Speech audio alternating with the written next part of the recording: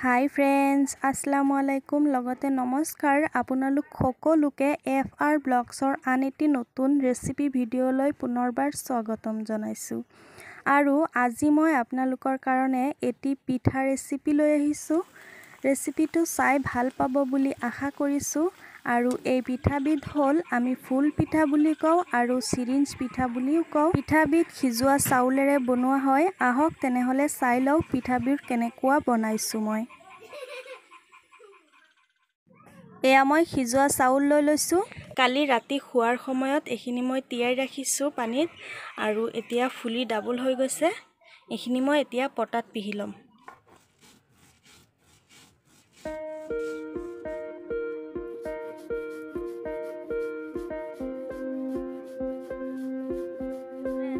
মোৰ চাউলখিনি বাতি হৈ গৈছে। ইয়াতে এতিয়া মই অলপমান নিমখ দি পেলাই এইখিনি ভালদৰে মিহলাই ল'ম। গোটেইখিনি এতিয়া ভালকৈ মিহলাই ল'ম যাতে নিমখখিনি গোটেইখিনিতে লাগি যায়। আৰু মোৰ এইখিনি অলপমান বেছি টাইট হৈ গৈছে। মই অলপ পানী দি দিছোঁ।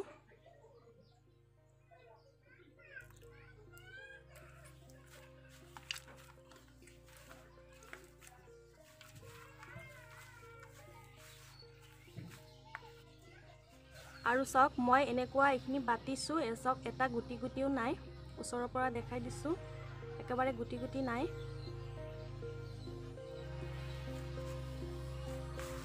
এইখিনিত নিমখখিনি খানা হৈ গ'ল। এতিয়া মই তিনিটা ভাগত ভগাই ল'ম।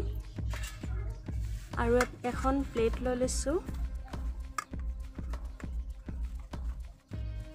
আৰু এতিয়া ইয়াৰ ইয়াতে মই কালাৰ কৰি ল'ম। এটা বগা ৰাখিম আৰু দুটা কালাৰ কৰি ল'ম।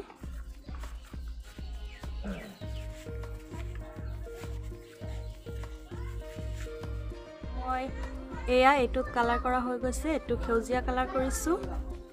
আৰু এইটো হ'ল গুলপীয়া আৰু এইটো বগা। তিনিটা কালাৰ হৈছে। এতিয়া এয়া মই কলপাত এনেকুৱা টুকুৰা কৰি কাটি লৈছোঁ। এই কলপাতখিনি এতিয়া ভালকৈ এটা চাফা কাপোৰেৰে মুচি ল'ম।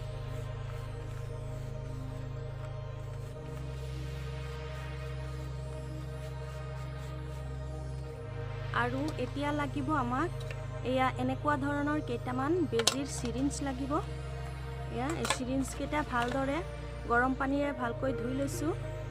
এইখিনিৰে এতিয়া মই বনাম।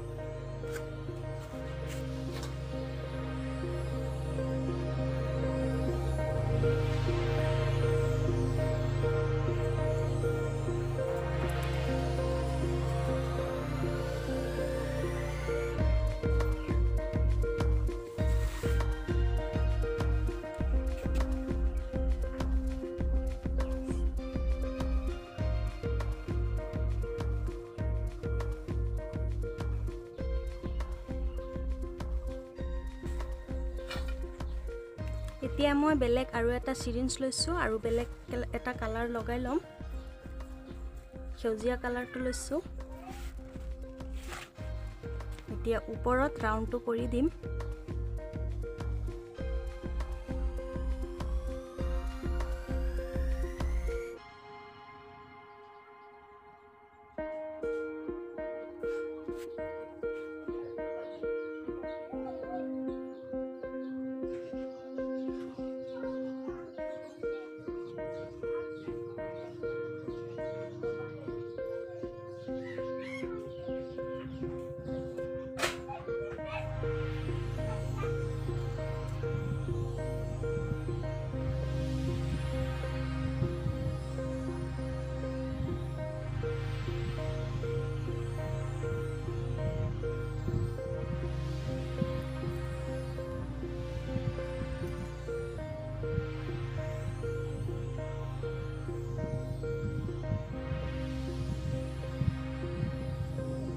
এয়া মোৰ এটা পাতত ফুলখিনি বনাই হৈ গৈছে এতিয়া মই এইটো এটা ছাইড কৰি ৰাখি দিম।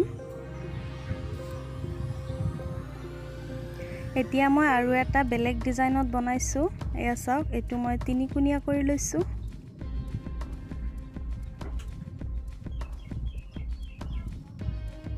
মই ভালকৈ দেখাই দিছোঁ যাতে আপোনালোকে বুজি পাবলৈ সুবিধা হয়।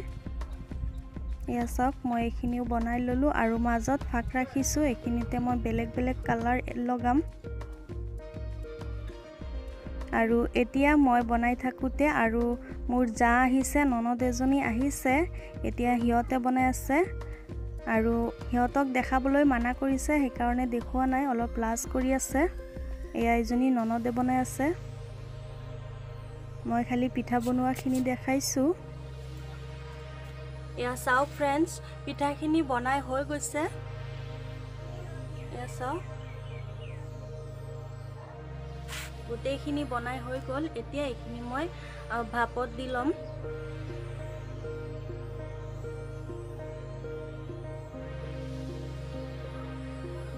মই গেছত এটা কেৰাহী বহাই দিছোঁ বহাই ইয়াতে মই পানী দি দিছোঁ। এতিয়া পানীৰ ওপৰত মই এনেকুৱা এটা ষ্টেণ্ড বহাই দিছোঁ। ষ্টেণ্ডখন পুৰণা হৈ গৈছে আৰু ইয়াৰ ওপৰতে পাতলকৈ অলপমান খেৰ দি দিছোঁ আৰু খেৰখিনি ভালকৈ ধুই লৈছোঁ। এয়া মই খেৰখিনি দি ল'লোঁ। এতিয়া ঢাকনটো লগাই পানীখিনি উতল আহিবলৈ দিম। এয়া চাওক এতিয়া পানীত উতল আহি গৈছে। এতিয়া মই ইয়াতে পিঠা দি দিম। এয়া মই এটা পাত বহাই দিছোঁ।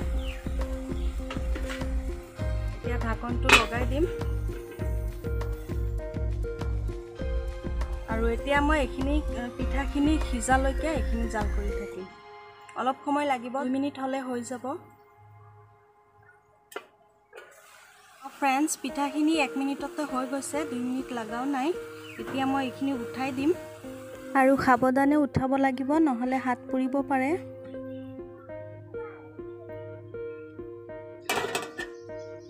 হৈ গৈছে এতিয়া মই এইটো এটা কোলাত থৈ দিম।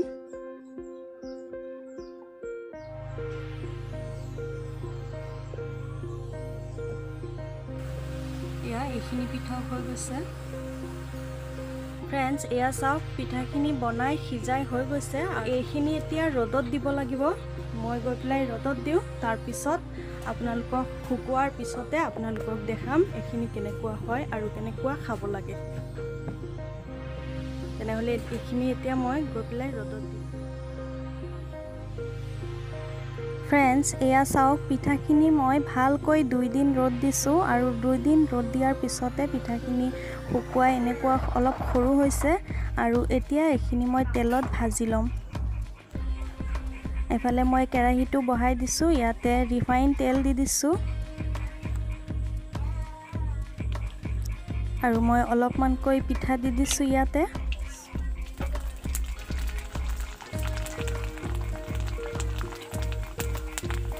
এই পিঠাবিধ বনাবলৈ অলপমান কষ্ট হয় কিন্তু খাবলৈ এবিধ বহুত সোৱাদ লগা হয় আপোনালোকে ঘৰত বনাই চাব। আৰু এবাৰ ভাজি হৈ গৈছে মই আৰু অলপমান দি দিছোঁ।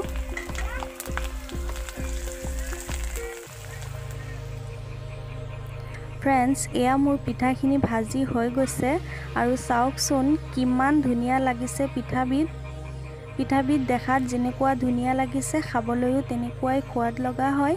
আপোনালোকে এনেকুৱা ঘৰত বনাই খাব আৰু জনাব কেনেকুৱা হৈছে। তেনেহ'লে আজিলৈ বিদায় লৈছোঁ। লগ পাম আন এটি নতুন ভিডিঅ'ৰ সৈতে। আজিৰ ভিডিঅ'টো চাই ভাল লাগিলে লাইক কৰিব শ্বেয়াৰ কৰিব কমেণ্টছ কৰিব আৰু যিসকল নতুন ফ্ৰেণ্ডছে এতিয়ালৈকে চেনেলটো ছাবস্ক্ৰাইব কৰা নাই তেওঁলোকে ছাবস্ক্ৰাইব কৰি দিব।